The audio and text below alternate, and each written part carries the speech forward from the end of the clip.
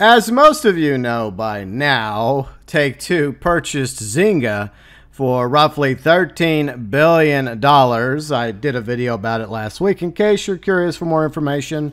And it was nothing compared to what Microsoft did this week, purchasing Activision Blizzard for $69 billion. And yeah, I also did a video about that too. Feel free and check them out if you haven't done so already. So last week on this uh, show on CNBC, it's one of the networks we have, they do like business stocks, etc.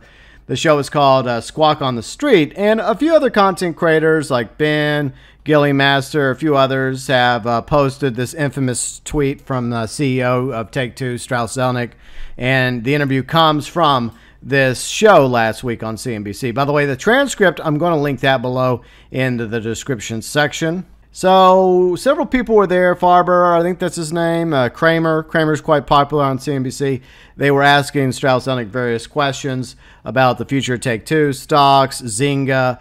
But Cramer also brought up some questions regarding GTA. So during this interview, the specific part I want to talk about where the infamous quote comes out, Cramer is the one who leads into the quote by Zelnick. Because there's some disagreement about how much it matters, say one of the two Housers left at Grand Theft, aka Rockstar Games. Dan Houser, who was the former founder of Rockstar Games along with his brother Sam, he was also the lead writer. There have been some defects in the new Grand Theft Auto, which is uh, a reference to GTA Trilogy Definitive Edition. There's been, as you've always held, that we're not going to put any game out before its time. Another lie by Strauss Zelnick exposed. So thanks, Cramer, for that. Shout out to Ben over on Twitter. I'll link his Twitter account below in the description section. Now, this is where the infamous quote from Strauss Zelnick comes out. With regards to the GTA trilogy, that was actually not a new title. That was a remaster of pre existing titles. We did have a glitch in the beginning. Oh, really, Strauss? That glitch has been resolved. Right.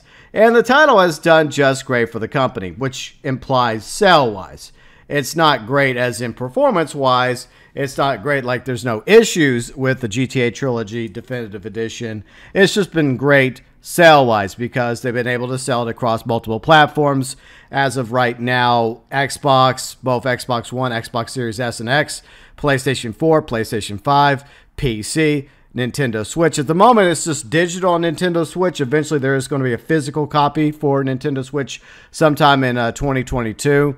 And there's also going to be ports for uh, smartphones like iPhone and Android for the GTA Trilogy Definitive Edition. In that regards, Strauss Zelnick is probably right. The title has done just great for the company, sell wise. Now, regarding the claim by Strauss Zelnick, the uh, CEO of Take Two, he's not the CEO of Rockstar. I've seen other people make this mistake.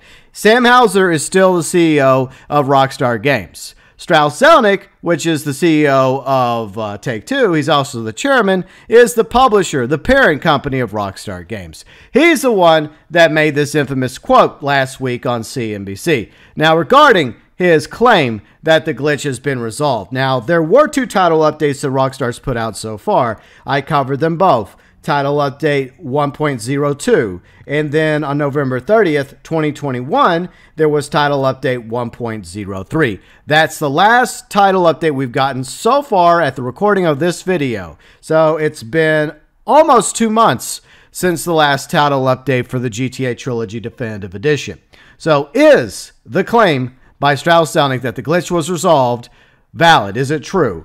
No, it's not. And I can prove it by simply driving around GTA San Andreas Definitive Edition and show you various screenshots. That's all I have to do. For one thing, when we're driving around the desert here, I know just going out of control in the Super GT, yeah, you can see that there are rocks and trees just magically popping in when they shouldn't be, especially not so close to the draw distance of the player it just takes away the immersion of the game to see all these pop-ins happening. And this is just one of many examples in GTA San Andreas 3 and Vice City Definitive Editions when these pop-ins occur. This should not be happening on the PS5 or the Xbox Series, and I don't think it should be happening at all on PC or on PS4, Xbox One, or Nintendo Switch. Bear in mind, just like Strauss Zelnick said, These are remasters of pre existing games. The OG GTA trilogy 3, Vice City, and San Andreas,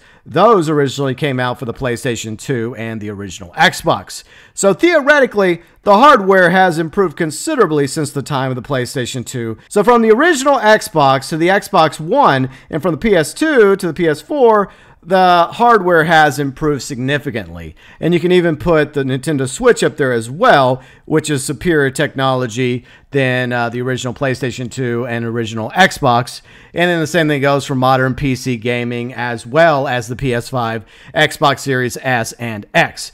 Therefore, these pop ins should be a non issue. Another thing that shouldn't be happening in the GTA Trilogy Definitive Edition is the low res. So, if you see from the screenshots we have to show you today for evidence, you can see a lot of low res issues happening throughout GTA San Andreas Definitive Edition. This happens all the time in all three games. And yeah, you see it a lot more when you're, you're in a helicopter, like in GTA Vice City, or like the, the skimmer, the Dodo in GTA Vice City Definitive Edition. You won't see it as much in GTA 3 because you do have a Dodo, but it, it barely flies. There's a trick to it, but you see it a lot more whenever you're flying around in the games, like in Vice City as well as San Andreas Definitive Edition, with a helicopter, with planes, with jets. But you can still see the low res problems that happen on the ground itself. Like in the distance, you can see low res in San Fierro and other parts of the map. It looks awful. And once again, this should not be a thing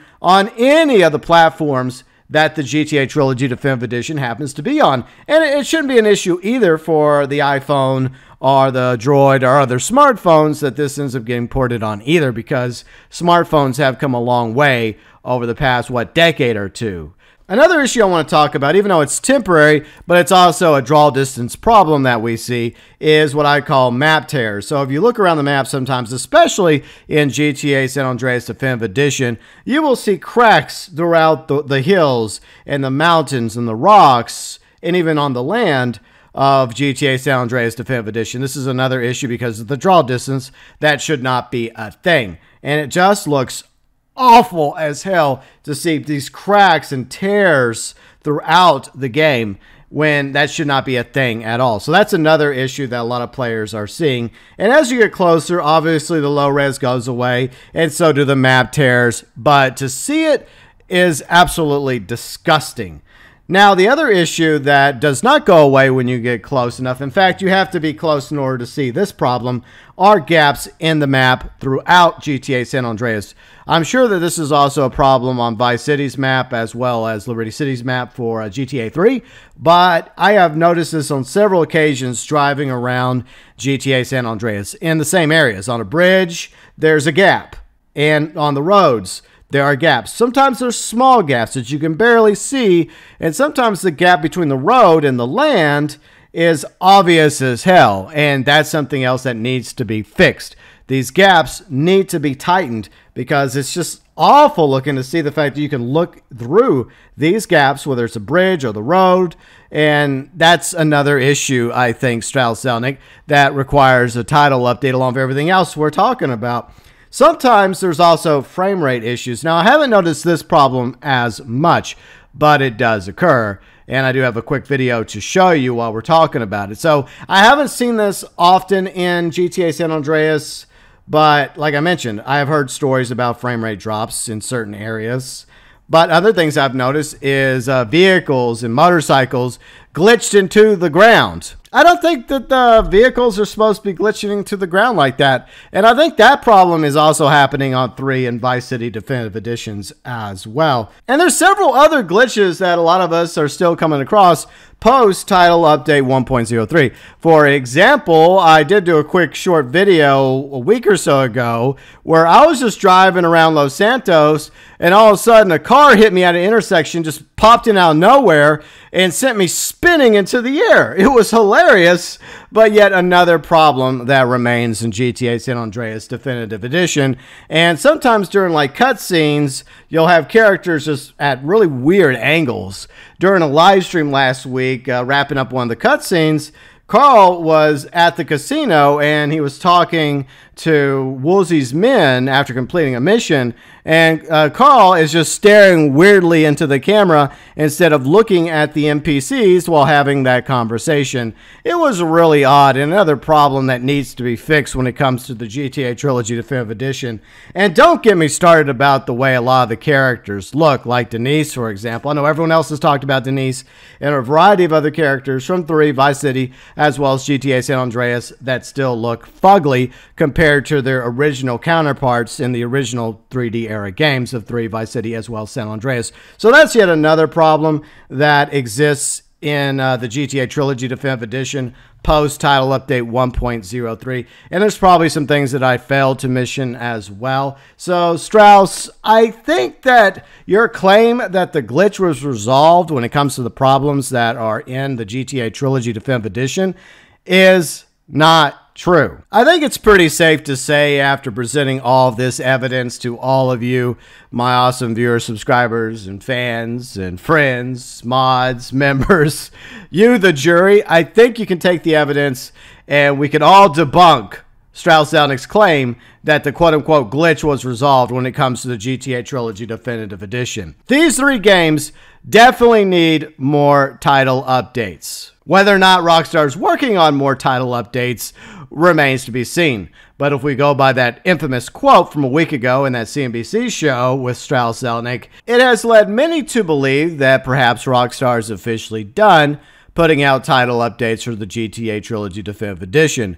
In other words, Rockstar and Strauss Zelnick's work here is done. Well, no, it's not. Anyways, uh, let me know below in the comment section, those of you that have been playing the GTA Trilogy Definitive Edition post title update 1.03. Have you encountered any of these problems or other issues that I have not mentioned when it comes to GTA 3, Vice City, or San Andreas Definitive Edition? Pop ins, low res, map tears, gaps in the map, frame rate drops, other glitches, bugs, issues, along with uh, character designs that you think should be addressed and resolved with uh, future title updates for the GTA Trilogy Definitive Edition.